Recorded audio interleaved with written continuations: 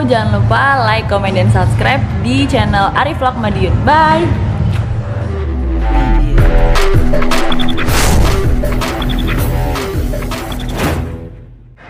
Halo Mas Randu, apa kabar Mas? Baik, Hmm, ada beberapa pertanyaan nih Mas. Masih bersama tim yang sama di Proliga tahun lalu Mas. BNI 46. Bagaimana perasaan Mas Randu eh, dipercaya kembali memperkuat tim Jakarta BNI 46 Mas? perasaannya saya dikasih kesempatan yang kedua kalinya Iya. bangga sekali karena tim PNI Jakarta 46 masih percaya ha- terhadap kemampuan saya untuk di bidang volleyball Mhm. dan suatu kebanggaan bisa membawa nama besar tim Jakarta. Eh, harapan dan target apa sih Mas yang ingin Mas wujudkan bersama tim Jakarta BNI 46? Untuk tahun ini harapan kita buat Jakarta BNI 46 itu adalah menuju ke final four pastinya dulu. Ah. Setelah itu targetnya kita mengulangi tahun kemarin yang kita di final meraih runner up dan tahun ini kita meraih optimis untuk meraih juara. Juara ya Mas. Buat Mas sendiri lawan terberat di Proliga tahun ini siapa sih Mas? Buat tahun ini semua sih terberat menurut saya, Ah. tapi lawan terberat menurut saya adalah diri kita sendiri aja karena di setiap tim pasti banyak pemain yang mempunyai tipikal beda-beda dan ego masing-masing. Jadi semua lawannya sama aja, tergantung dari kita sendiri menghadapinya gimana. Oh gitu. Flashback di SEA Games kemarin Mas. Bagaimana sih Mas perasaan Mas ketika viral tentang gaya selebrasi selebrasi Mas Randu nih yang uh, kontroversial itu Mas. Apalagi di jagat Twitter Filipina yang sempat menduduki trending ya Mas di sana Mas. Bagaimana perasaannya Mas? Senang, terharu, malas atau malah sedih Mas? Yang sedang viral kemarin ya seneng aja sih.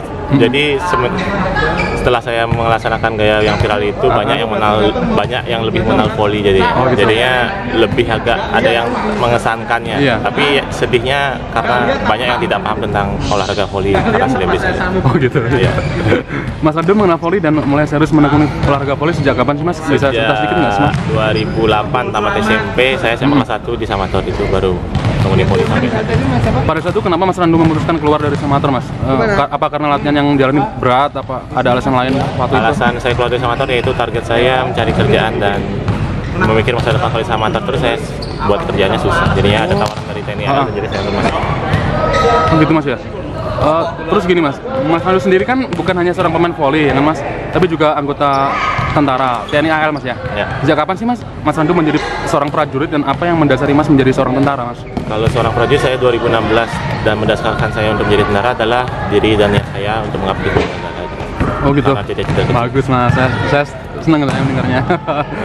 Bagaimana sih mas mengatur waktu antara dinas di kesatuan mas juga dalam olahraga volley itu sendiri mas?